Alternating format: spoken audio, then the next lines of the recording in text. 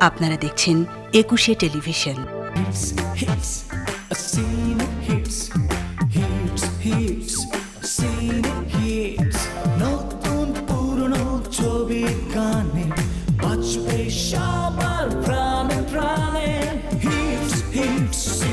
দর্শক, আপনাদের সবাইকে স্বাগত জানাচ্ছি একুশে টেলিভিশনের নিয়মিত আয়োজন তিব্বত স্নো প্রেজেন্ট সিনে হিটসে। একুশে টেলিভিশনের দর্শক যারা আছেন, তারা নিশ্চয়ই জানেন আমরা আমাদের অনুষ্ঠানটিকে কীভাবে সাজিয়ে থাকি। সো, নিয়মিত যে অনুষ্ঠানটি যেভাবে যায়, সেভাবেই যাবে। তবে আমাদের এই অনুষ্ঠানটি সবার মাঝে খুব প্রশংসিত হয়, কারণ হচ্ছে আমাদের এই অনুষ্ঠানটিতে আপনাদের পছন্দের কিছু এক্সক্লুসিভ গান দেয়া হয় এবং তার পাশাপাশি যেটা হয়, আপনাদের পছন্দের গেস্ট যারা থাকে, তাদের সাথেই আমরা গল্প করি। আজকেও এর ব্যতিক্রম নয়, আপনাদের সবাইকে স্বাগত জানাচ্ছি আমাদের আজকের অনুষ্ঠান তিব্বত স্নো প্রেজেন্স সিনে হিটসে আপনাদের সঙ্গে আছি আমি নামির আহমেদ এবং আজ আমাদের পুরো পুরো অনুষ্ঠান জুড়েই রয়েছে পরিচালক বন্ধন বিশ্বাস। ভাইয়া স্বাগত আপনাকে কেমন আছেন? ভালো আছি আপনি কেমন আছেন? ভালো আছি। ভাইয়া আপনার দ্বিতীয় সিনেমা যেটা ছিল আমি যদি ভুল না করি লাল শাড়ি এবং ব্যাপক আলোচনায় চলে এসেছে সিনেমাটি বিষয়টা কেমন লাগছে?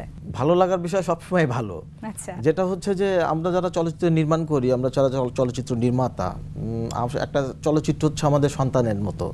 তো সেই সন্তানটা যখন ভালো রেজাল্ট করে তখন সেটা কিন্তু।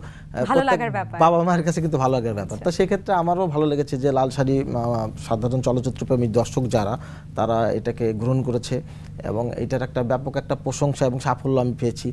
তো সেই হিসাবে আমার বেশ ভালো লেগেছে লাল- শাড়ি নিয়ে। আমরা জানি যে লাল শাড়ির যে আহ, প্রযোজক, তিনি হচ্ছেন অপু বিশ্বাস হ্যাঁ? সো বেশিরভাগ ক্ষেত্রে আমরা পরিচালককে দেখি যে আর্টিস্ট নির্ধারণ করে, যে এই আর্টিস্ট এই আর্টিস্ট আমার সিনেমায় কাজ করবে। তো অপু বিশ্বাসকে আসলে কেন নেয়া? মানে উনি প্রযোজক এর জন্য নেয়া? না হচ্ছে ওনার রেকমেন্ড ছিল নিজেকে যে আমাকে নিতে হবে এমন কিছু। না ব্যাপারটা ওরকম না। আমি অপুদির সঙ্গে আমি প্রথম চলচ্চিত্র নির্মাণ করতে যাই হচ্ছে সাহেব বৃক্ষ নামে আমার আরেকটি চলচ্চিত্র। তো আচ্ছা। ওইখানে যখন কাজ করতে যাই তখন আসলে আমাদের মধ্যে একটা বন্ডিং তৈরি হয়। আচ্ছা। আমি আসলে অ্যাজ এ ডিরেক্টর হিসেবে সবসময় আর্টিস্টদের ভাঙতে পছন্দ করি। তো উনি একটু কমার্শিয়াল ঘরানার আর্টিস্ট হিসেবে স্টাবলিশড ইন্ডাস্ট্রিতে তা। আমি চাচ্ছিলাম যে ওনাকে একটু ডিফারেন্টভাবে প্রেজেন্ট করার জন্য স্ক্রিনে তো সেই জায়গা থেকে আমি ওনাকে নিয়ে একটা এক্সপেরিমেন্টই করছিলাম যেটা হ্যাঁ, হচ্ছে যে বাঙালি লুকে বাঙালি হ্যাঁ গ্রাম বাংলার একটা লুকে ছিলেন সেই জায়গা থেকে অপুদির সঙ্গে এই যে একটা আর্টিস্টের একটা বন্ডিং আর্টিস্ট ডিরেক্টর একটা বন্ডিং আসলে ভালো রিলেশনশিপ না হইলে এইগুলো করা সম্ভব না একজন চলচ্চিত্র নির্মাতার জন্য। অপুদির সঙ্গে আমি যখন কাজ করতে গেলাম ওইখানে ছায়াবৃক্ষ শুরু করলাম তখন আমাকে মনে হয়েছে শুরু থেকে আমি চাচ্ছিলাম যে ওনাকে ভাঙতে সেই জায়গা থেকে আসলে ওই রকম একটা কনসেপ্ট আমরা নিয়ে নিয়েছিলাম। ছাবৃক্ষ এবং লাল শাড়ি দুইটাই কিন্তু একটু ডিফারেন্ট টাইপের কনসেপ্ট যেটা লাল শাড়ি ছিল একটু গ্রাম বাংলার একটা গল্প। তো ওইখানে অপুদি আসলে ভার্সিটাইল একজন অ্যাক্টার্স তো সেই জায়গা থেকে আমি ওনাকে ওই এক্সপেরিমেন্টটা ওনার উপরে চালাইতে চাচ্ছিলাম। এবং উনিও আমাকে এটা রিসিভ করেছিলেন আমাকে এই ব্যাপারে যথেষ্ট সহযোগিতা করেছিলেন এবং উনিও চাচ্ছিলেন যে এরকম একটা কন্টেন্টে উনি কাজ করবেন।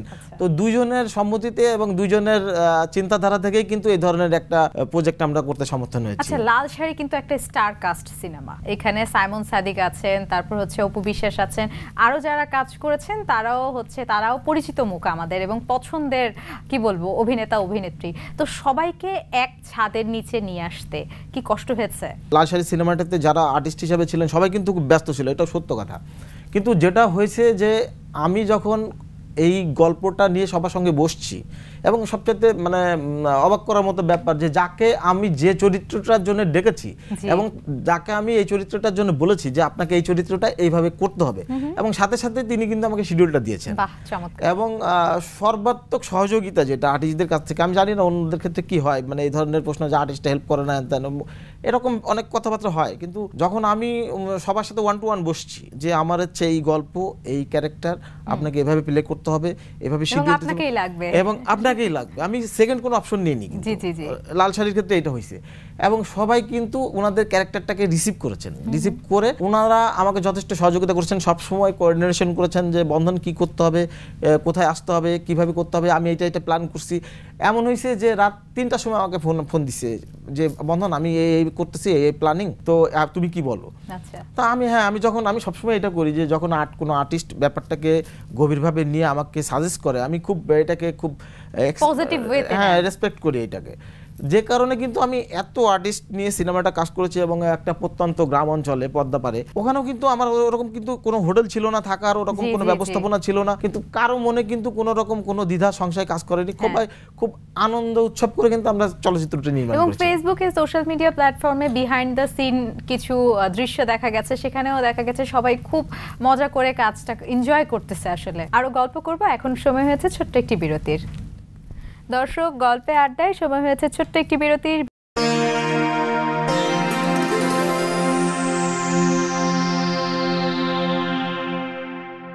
দর্শক, আবারও স্বাগত জানাচ্ছি একুশে টেলিভিশনের নিয়মিত আয়োজন, তিব্বত স্নো প্রেজেন্স সিনে হিটসে। আপনাদের সঙ্গে আছি আমি নামিরা আহমেদ এবং আজ আমাদের পুরো অনুষ্ঠান জুড়েই রয়েছেন পরিচালক বন্ধন বিশ্বাস। ভাইয়া, আবারও স্বাগত জানাচ্ছি সিনে হিটসে। বিরতির আগে আমরা অনুদানের সিনেমা নিয়ে কথা বলছিলাম। সো আমরা যে ব্যাপারটা সব সময় শুনে এসেছি বা এগুলো নিয়ে লেখালেখিও হয় যে অনুদানের সিনেমা বলতেই সিনেমাটা ভালো হবে না। এভাবেও অনেকেই হচ্ছে এই বিষয়টা উপস্থাপন করে কি বলব, পেপারে হেডলাইন আসে। এই বিষয়টা আপনি কীভাবে দেখেন? এটা আসলে কারও সম্পর্কে আমি কিছু না বলি। যেটা হচ্ছে যে আমার যেটা দায়িত্ব ছিল যে অনুদানের চলচ্চিত্র গভর্নমেন্ট আমাকে একটা অনুদান দিয়েছেন। তো সেইটাকে প্রপার ইউজ করা লাল সিনেমাটা যারা দেখেছেন, যে অনুদানের চলচ্চিত্রের যে টাকাটা সেই টাকাটা নিয়ে নয় ছয় করার যে জায়গাগুলো তৈরি হয়েছে প্রপার ইউজ করা হয় না। যখন আমার সিনেমাটা রিলিজ হয়েছে এবং শুরু থেকেই এত আয়োজনে কোনো সিনেমা আজ পর্যন্ত অনুদানের কোনো সিনেমা এভাবে এত আয়োজন নিয়ে হয়েছে কিনা জানি না। প্রচার করা হয়েছে অনেক প্রচার হয়েছে এবং সেটার ফিডব্যাকও কিন্তু আমি পেয়েছি। আমি যথেষ্ট প্রশংসা পেয়েছি মিনিস্ট্রিতে সেন্সর বোর্ডে এবং যারা সিনেমাটা দেখেছে দেখে এটা বলেছে যে না এটা একটা অনুদানের সিনেমা যে স্পেসিফিক বলা হয় যে এটা অনুদানের সিনেমা। ওই জায়গাটা কিন্তু ছিল না। তো সেই জায়গা থেকে আমি বলব যে আসলে অনুদানের সিনেমা অনুদান পেয়েছি বলেই আমাকে এটা নিয়ে একটা নয়সই করতে হবে। সিনেমার জন্যই আসলে করতে হবে। আমাদের গভর্নমেন্ট যে অনুদানটা দেয় সেটা তো আসলে সিনেমার ডেভেলপমেন্টের জন্য দেয়। তো সবারই উচিত যে অনুদানের চলচ্চিত্রের যে অনুদানগুলো এটা প্রপার ইউজ করা। এখন আসি আপনার আরেকটি সিনেমা প্রসঙ্গে। আমি যদি ভুল না করি তাহলে সিনেমাটির নাম কি হতে পারে ভাইয়া? আপনি বলেন। না না আপনি বলেন। আমি আপনার কাছ থেকে একটু শুনি। আমার নতুন আরেকটি চলচ্চিত্র যেটি রাজনৈতিক কারণে এটি রিলিজ করতে পারেন যেহেতু চলচ্চিত্রটি সম্পূর্ণ রিলিজ প্রক্রিয়াও আমি সম্পন্ন করেছিলাম এবং নির্মাণ কাজটা অনেক আগে শেষ হয়েছে আচ্ছা। তো সেই চলচ্চিত্রটির নাম হচ্ছে ছায়াবৃক্ষ তো ছায়াবৃক্ষ আমাদের এখন আমি জানুয়ারির ফার্স্ট উইকে আমি এটার ডিক্লারেশন দেবো যে আমি ছায়াবৃক্ষটা কবে। রিলিজ দেওয়া হবে বিকজ আমাদের এই মুহূর্তে তো আমাদের রাজনৈতিক অবস্থার। কারণে নির্বাচনের কারণে আমরা ডিসিশনহীনতায় ভুগছি তো সব কিছু মিলে আমার ছায়াবৃক্ষ চলচ্চিত্রটি রিলিজের প্রক্রিয়ায় মোটামুটি ফাইনাল। আচ্ছা। এখন আমি জানুয়ারির ফার্স্ট উইকে আমি ডিক্লেয়ার দিব যে আমি কবে এই চলচ্চিত্রটি নিয়ে সিনেমা হলে আসছি। ভাইয়া গল্প করতে করতে বিরতির সময় চলেই আসে। আরেকটি ছোট্ট বিরতি নিয়ে নেই। দর্শক গল্পে আড্ডায় সময় হয়েছে আরেকটি ছোট্ট বিরতির।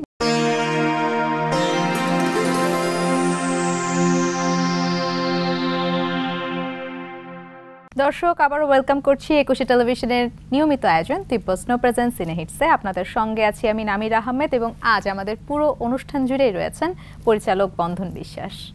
ভাইয়া, আবারও স্বাগত জানাচ্ছি। এখন একটু ওটিটি প্ল্যাটফর্ম সম্পর্কে জানতে চাই আমি আপনার কাছে, যে এই যে নতুন নতুন প্ল্যাটফর্মগুলো এসেছে, এই বিষয়টা আপনি কীভাবে দেখছেন?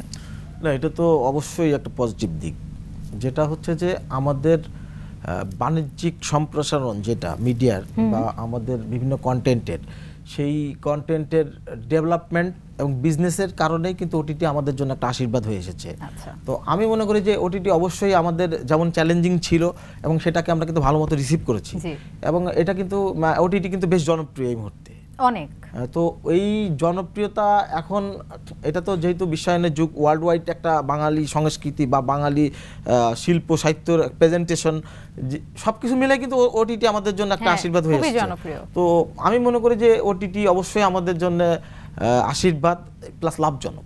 ম্যাক্সিমাম সময়ে আগে যে জিনিসটা দেখা যেত সেটা হচ্ছে বাংলা সিনেমা বাংলা সিনেমার সাথে কম্পিটিশন করছে হ্যাঁ? যেমন আপনার সিনেমা হয়তো লাল শাড়ি সিনেমাটা শাকিব খানের একটা সিনেমার সাথে ঈদে কম্পিটিশন ছিল। কিন্তু এখন কিন্তু বাংলা সিনেমা হিন্দি সিনেমার সাথেও কম্পিটিশন করছে। সিনেমা ঘরে এখন যে সিনেমা চলছে বাংলা যে সিনেমাটা চলছে হয়তো এনিমেল মুক্তি পেয়েছে বা নেক্সট শাহরুখ খানের যে সিনেমা যাবে সেটা মুক্তি পাবে। এই বিষয়টা আসলে আপনি কীভাবে দেখেন? না বাংলা চলচ্চিত্র যেটা বাইরের চলচ্চিত্রগুলোর সাথে বাংলা চলচ্চিত্র এটা একটু মানে কি বলব যে এটা একটু ঝামেলা করেই হয়েছে তারপরও আমি বলব যে আমরা তো শুধুমাত্র মানে আমরা তো ওটিটি বলেন বা ইউটিউব বলেন বিভিন্ন মাধ্যমেই বলেন কিন্তু সেই হিন্দি সিনেমাগুলো বা বহির্বিশ্বের অন্য সিনেমাগুলোও কিন্তু দেখে আসছি। তো বাংলা সিনেমার যেটা হয়েছে যে আমাদের মার্কেট ছোট হওয়ার কারণে বাণিজ্যিকতার বাণিজ্যিকতার যে জায়গাগুলো সেই জায়গা থেকে আমরা একটু পিছিয়ে আসি কম্পেয়ারের জায়গাটা আমার কাছে মনে হয় এইটা। আর দ্বিতীয় যেটা হচ্ছে যে এখন আমাদের সিনেমা কিন্তু ওখানেও যাচ্ছে। হ্যাঁ গল্পে আড্ডায় আমরা অনুষ্ঠানের কিন্তু একেবারেই শেষ প্রান্তে চলে এসেছি। আমাদের দর্শকদের উদ্দেশ্যে যদি আপনি কিছু বলতেন। দর্শকদের উদ্দেশ্যে যেটা বলব যে আমরা দীর্ঘদিন ধরেই চেষ্টা করে যাচ্ছি যে বাংলা চলচ্চিত্র ডেভেলপমেন্ট করার জন্য। তো আমরা আমাদের মেধা এবং সামর্থ্যের সর্বোচ্চ দিয়ে চলচ্চিত্র নির্মাণ করে যাচ্ছি। এই নির্মাণের সার্থকতা তখন আরও সফল হবে যখন আপনারা নিয়মিত সিনেমা হলে এসে বাংলা চলচ্চিত্র দেখবেন। আপনাদের কাছে অনুরোধ আপনারা বেশি বেশি করে বাংলা সিনেমা দেখুন এবং সিনেমা হলে আসুন। ধন্যবাদ।